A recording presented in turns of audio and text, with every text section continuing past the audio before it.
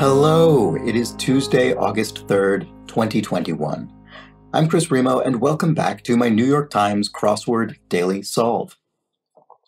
It's a Tuesday puzzle, so shouldn't be too much of a challenge. going to continue to ease into the week with a relatively gentle crossword, I hope. I don't think there were any big corrections or um, particularly important context from yesterday's clue, so I figured I would I would pick up on a different comment instead. Duke Garland asks, Chris, do you ever solve the crossword with your partner yourself, or are they not interested in crosswords? Um, we don't solve the crossword together. Uh, my partner is an occasional crossword solver, I would say. Um, she would probably be uh, not at all a crossword solver if not for me. Um, but because of my interest, she does occasionally do a crossword, and actually hadn't been doing them for a while, but has started up again uh, since I've started doing this series. Um, she doesn't watch the series, which is fair enough. She spends enough time having to see and hear me all day long. But uh, but it, but my engagement with the series, I guess, has encouraged her to start doing the crosswords again. And it's fun because she can ask me for a little hint if she needs it. Uh, there are some categories of clue that uh, obviously she will have more knowledge than I uh, regarding because that's just how works with crosswords. Some people know more about one thing, some people know more about the other thing. So if I'm doing a crossword and, and she's nearby and I'm hit, uh, butting up against something that I know is a, a, challenge area for me, but less so for her, I'll ask her for a hint. Um, I guess I don't do that so much now that I'm on the series, but that would be traditionally the kind of thing we would do. Um, so yeah, we don't solve them together per se, uh, but we often solve them in each other's vicinity, uh, and it's a nice thing to uh, to be able to, I guess, have an easy way to sort of make use of particular esoteric knowledge that your partner might have that is um, less a part of your own sort of mental arsenal, I guess. Uh, but I do really like the idea of solving them together. I mean, obviously, that's especially not the not really practical in our case, given given my doing this video series. But I I really have enjoyed seeing all the comments from people, both on the um, comments under the video, also on Twitter, and through donations on my Ko-fi page. A number of people have mentioned that in uh, private messages to me there, and I, I just think that's really, really nice. I think it's a very nice thing. Um, a crossword is a great sort of low impact way to uh, share knowledge and gain knowledge and test knowledge um, without. Uh, there's no, it's not really competitive. I mean, it's sort of competitive against yourself, but it's not like playing a game against your partner or something like that. So I do think it's fun. It's a fun thing you could do with a friend or a partner or or whoever else and help each other improve. So anyway, let's let's help ourselves improve. Let's do a Tuesday puzzle. Let's see how it strikes us. This puzzle is by Trip Payne. It does not appear to have a title, which doesn't mean that it doesn't have a theme. We'll just have to see. Although themes less common on Tuesday, probably, I would say. Edited as always by Will Shortz. Ready to get started? Okay.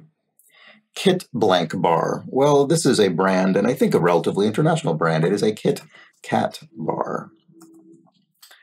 Or so blank say. Uh, this looks like or so they say. Oh, sorry. You know what I should have done before starting the solve at all was observing this geometry on the board.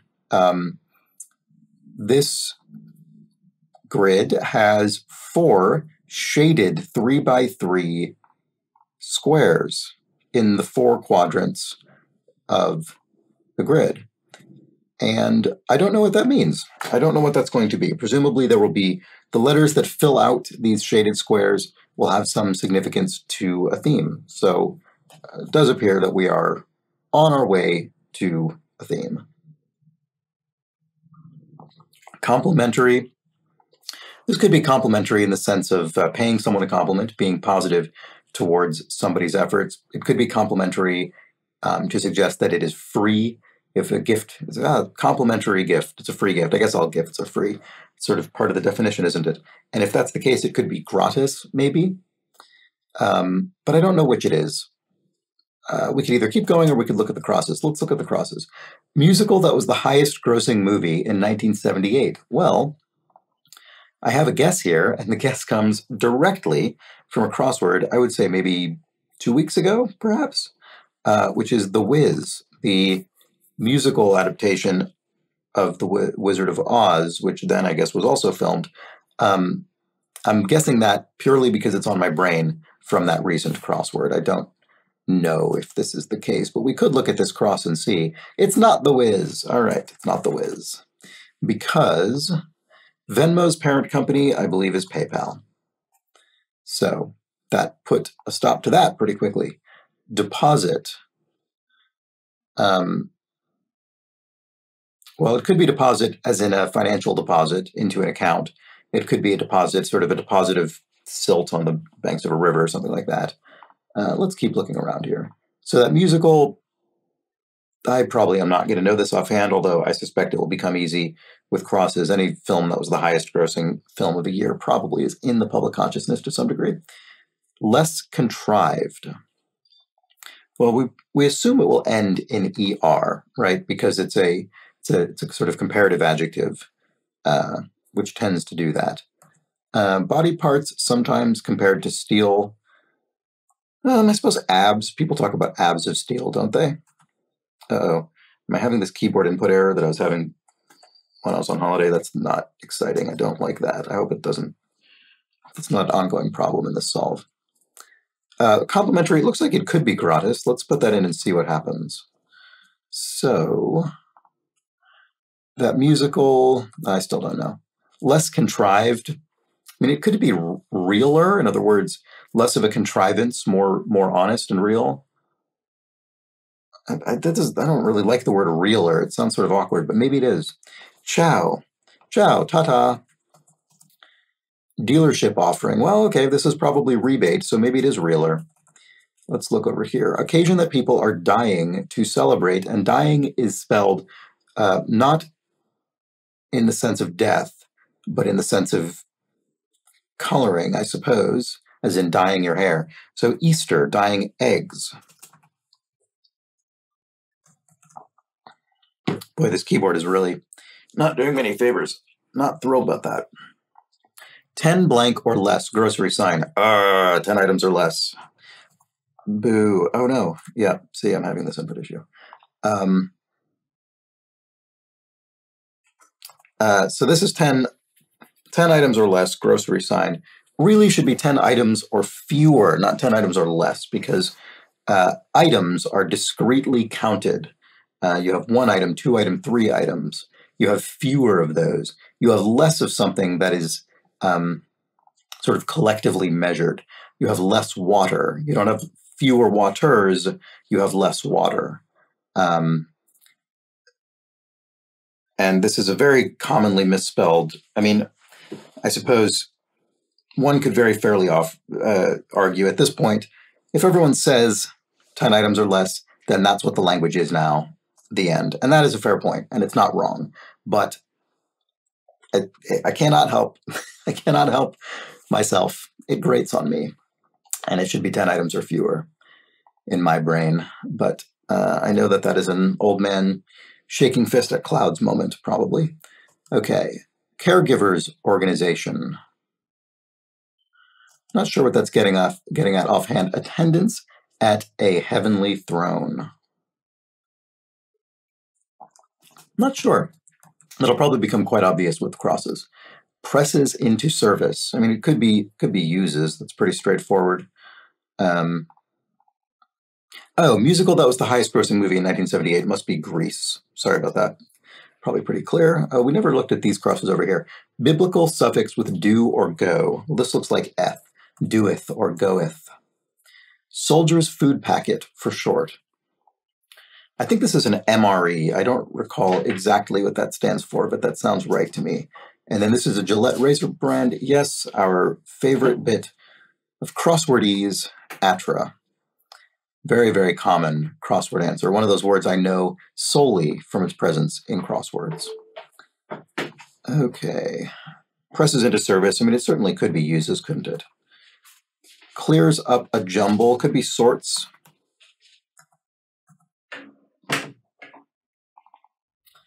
land in Game of Thrones. Uh, uh, have not seen Game of Thrones. Um, hopefully the crosses help me out with that one. Ba-ba-ba. To put an edge on, this could be hone, as in to hone a knife blade. Um, let's try that. Times Square sign for Broadway fans. Times Square sign for Broadway fans. Um, I'm less confident about this hone. Let's get rid of this. 1980 Devo hit. Um, it could be Whip It. Classic Devo track. Start of a carol title could be Hark, Hark the Herald Angels Sing. How Blank Your Mother. Well, uh, like Game of Thrones, I've not seen this, but I've certainly heard of it. How I Met Your Mother. Funders of many campaign ads, in brief. So this is a um, United States specific political answer, which is PACs, I think, Political Action Committees, I believe that stands for. Times Square sign for Broadway fans. Ah, I see. So we've got Broadway abbreviated, which I should have pointed out, and it's ad- advertising tickets or tickets, TKTs. Build. Ah, to build something is to erect it. Ah, here we go. So to put an edge on is whet, and that is more accurate actually than hone because I don't think honing actually creates a blade. Honing sort of evens out a blade, gets it unbent, whereas whetting, what you do with a whetstone when you actually uh, drag the blade against stone, you actually are creating a blade. Villain in the Book of Esther. You know, I don't know. I'm, I I don't uh, I don't recall that bit of biblical knowledge. T-Mobile acquisition of 2020. Here's another U.S. company. I think this is Sprint. All right. Attendance at a heavenly throne. I'm still not seeing it. I'm sorry. Deposit. I mean, it could be as simple as put in. Is that, could that be? Sizzling. Well, something, si- oh, I see. Sorry. I see what that heavenly throne is. Um, that's seraphim, angels. Harold who directed Groundhog Day, that would be Harold Ramis. Santa Blank, California. Uh, well, if you got this far with crosses and you did, you still didn't know this, you could probably guess, to be honest, because it's clearly, well, not clearly, but it looks certainly looks like a Spanish phrase. So even if you've not heard of this city, Santa Rosa, I think would be a pretty good guess. They help with course selection. Uh, it could be menus. You order from a menu, you order courses. Feature of some dresses. So dresses is plural, but the feature is singular. So we're looking for a singular word here. So it could be a slit, as in a slit in a dress. Ground transportation hub. Um, maybe a bus depot. Key of Bach's, the art of fugue. All right. So I don't know what the key of this is offhand, but here's a you you sort of get some crosses for free when you see this. Um, there are two different there are two lengths, two well three I suppose common lengths a key a musical key could be in terms of letter count. The least common would be one, and that would simply be if the key were A, B, C, D, E, F, G, something like that. Uh, that's very uncommon because un, un, because that would require a, a, to, to have only one letter in an answer. That would require the the square to be unchecked. In other words, not have any crosses, and that's uncommon, but it can happen. The two much more common lengths would be uh, four letters or five letters. If it's four letters, then you know it's going to be the name of a letter like A and then flat, A flat, which means a semitone a half step below A, uh, A flat, um, or B flat, or whatever. So if it's four letters long, which this one obviously isn't, but if it is, you could pretty much put flat in there. And then you, you, need, you need a cross to get the, the note itself. Uh, if it's five, it could be two things. It could be something sharp, like G, sharp, which is the uh, sort of counterpart to a flat. It's when the note is one semitone higher rather than lower. Um, but you don't know that it's sharp because it might not be sharp. It might be major or minor. And I'm not going to explain the musical theory behind what all this means. I'm just giving you a tip. so um, if it's major or minor, if you have any of these letters anywhere in your crosses, you can fill in the other two because major and minor share this M, O, and R. So um, that was a long digression. Oh, and then also, you know, the first the first letter is never going to be a letter further in the alphabet than G because the musical notes only go up to G, A, B, C, D, E, F, G, and then they go back around to A. So this will never be anything other than, than A, B, C, D, E, F, or G at the beginning. And here, looking down, we have raison in French, and um, there's not raisin in English because it's on at the end, not in. So a uh, common phrase in French would be raison d'être, reason to be, your sort of um, life, I don't know, motivation, the thing that that, that inspires you, propels you forward. Um, so now we know that this is either going to be D sharp, D major, or D minor. Uh, and I don't know which. I don't. Uh, I never remember what key something is in. So um, we'll have to get some crosses to to figure that out. A pun is said to be the lowest form of this. I would I would imagine this to be wit, the lowest form of wit. Sort of uh, sounds like the sort of thing I don't know. Maybe Oscar Wilde would have said it or something. Who knows? You betcha. I don't know. Follow, follower of Navy or presidential. Could be SEAL, Navy SEAL, presidential SEAL. In this case, used both in the same sense. They both mean a seal, meaning a sort of insignia that could be stamped on something or engraved, as opposed to neither of them means the animal.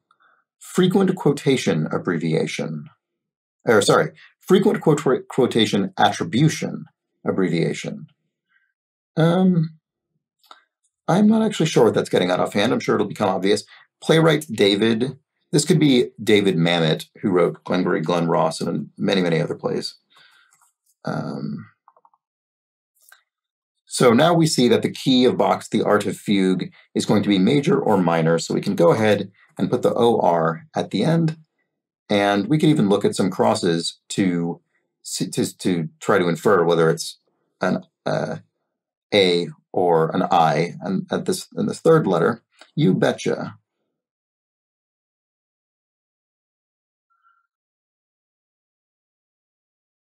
Why am I not seeing this? I suppose wit could be incorrect. Sportscaster Andrews, I'm not sure. Cultivate a garden plot in a way. So this is um, some kind of gardening term. Oscar-winning Zellweger would be Renee Zellweger, which uh, not that we, not that there are very many Zellwegers as far as I'm aware that are Oscar-winning, but we had that cross there for all the good it did us. Private eye in old lingo. um, so this is the sort of thing I'd largely know from crosswords. Uh, this could be a tech, as in detective tech. Um, Dick is another common one, as in Dick Tracy, um, detective, um, private Dick. But that obviously doesn't fit in three letters. Well, I guess that's not obvious. It is spelled D-I-C-K, so it doesn't fit in three letters. Tech does, and I bet that's what it is because of that E. Happy as a blank, happy as a clam is a common idiomatic phrase no good cars are lemons.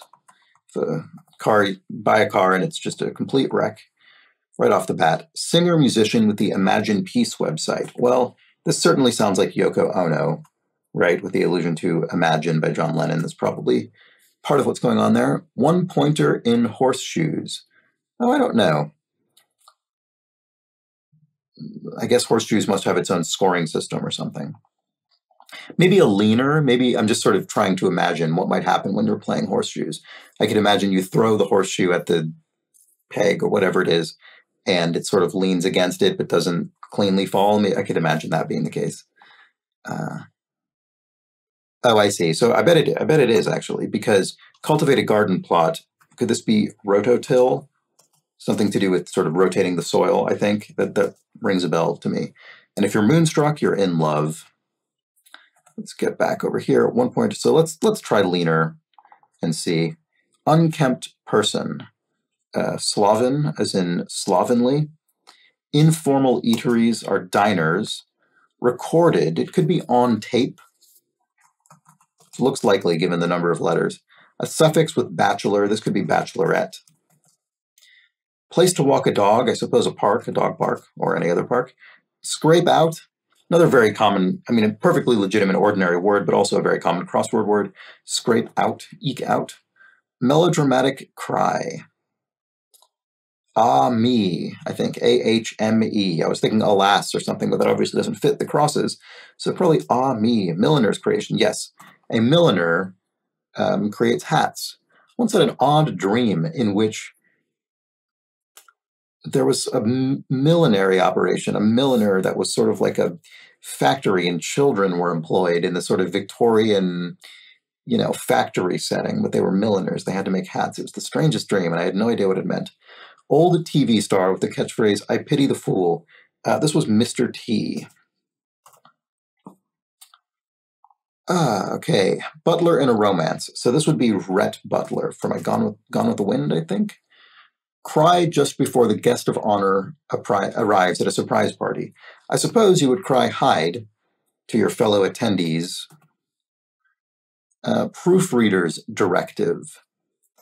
All right, so here's a bit of lingo that um, is it doesn't isn't specific to crosswords certainly, but probably is one of the more common places you'll see this kind of thing these days. I think this is stet which is a bit this is the this is vocabulary that's used by editors, say a newspaper editor, for instance, um, in a, maybe in a red pen editing a manuscript, and it's the kind of thing that um, in daily life you're not going to see very often, but it does come up in the crossword from time to time. I'm sorry, my eye is just drawn to this cross here. What you might do, because this looks like market here, what you might do after some financial trading or in this puzzle. Ah, and we can see market, the market.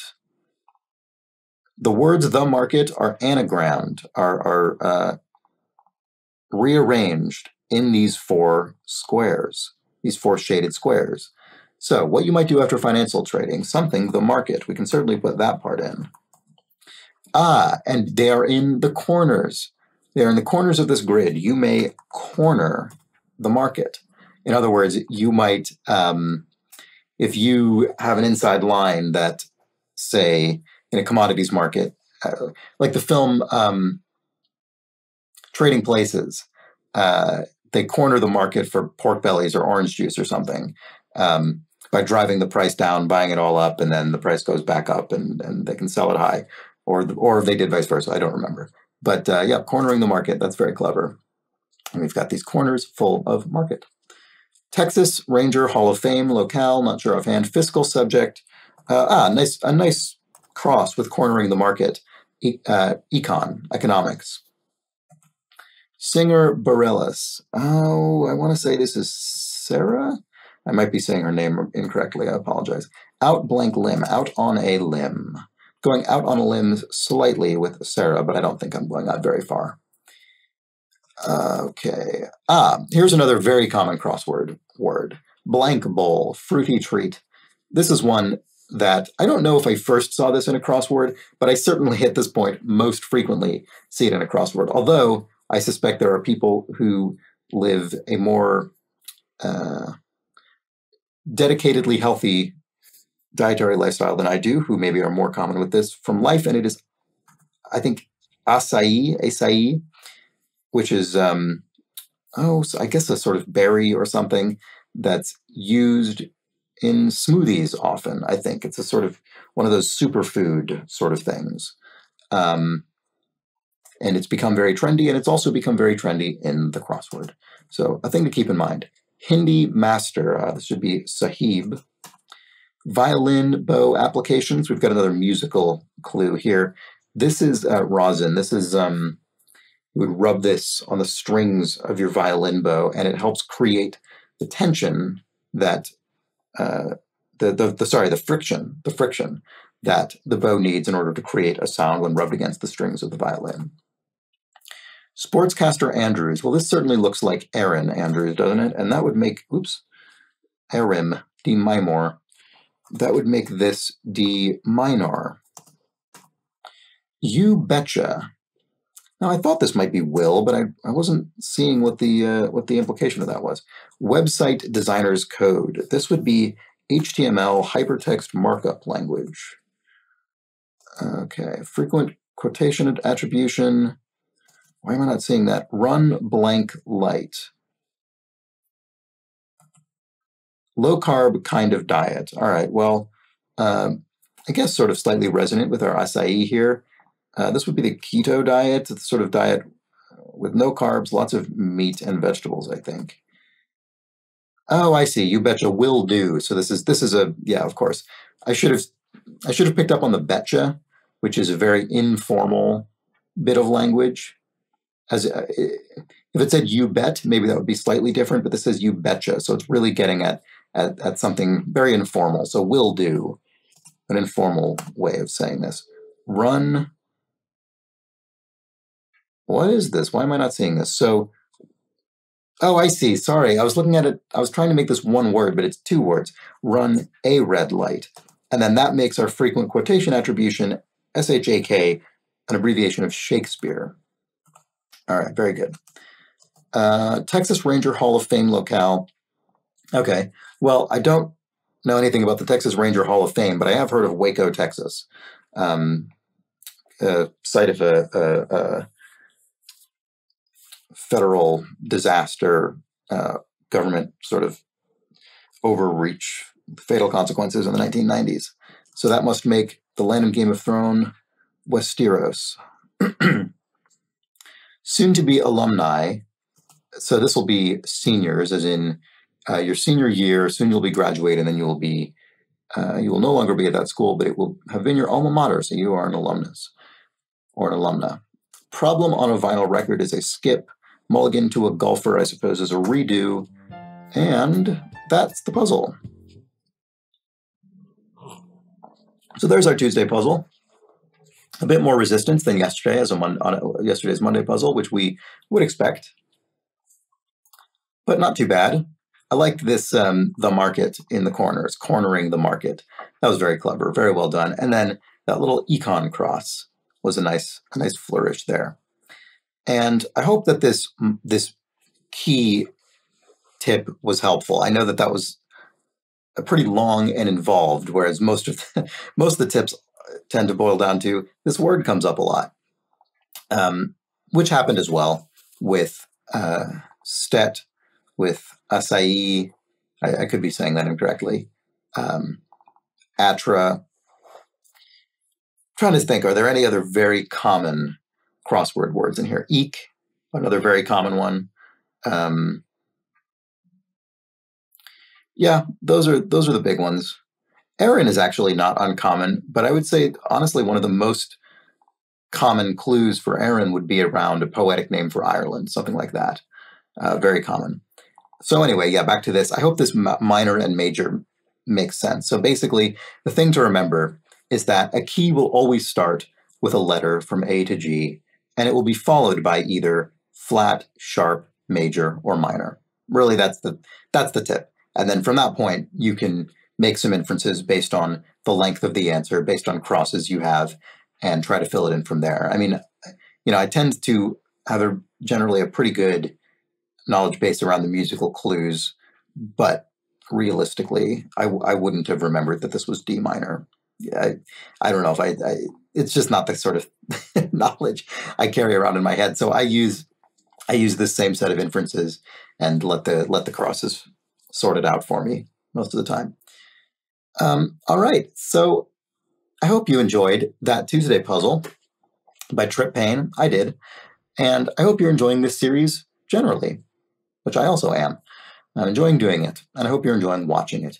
If so, uh, subscribe to the channel so that you see these videos as they go up every morning.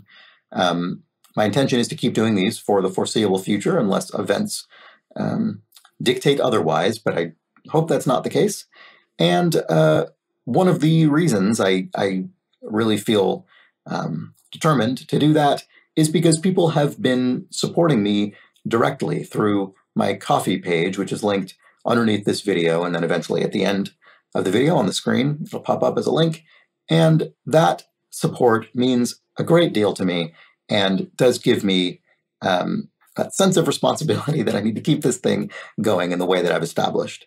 And um, if you're able to toss me a couple of quid or a few bucks, which I realize not everyone's in a position to do, which is perfectly fine, um, I would appreciate it enormously, and it would help. Um, it would help me figure out how to make this thing a sustainable part of my day. So uh, I'll leave that there. I'll be back tomorrow for a Wednesday puzzle for our midweek, mid challenge Wednesday puzzle. And I hope to see you solving as well. So with that, I'm off. Have an excellent Tuesday. I'll see you tomorrow. Take care.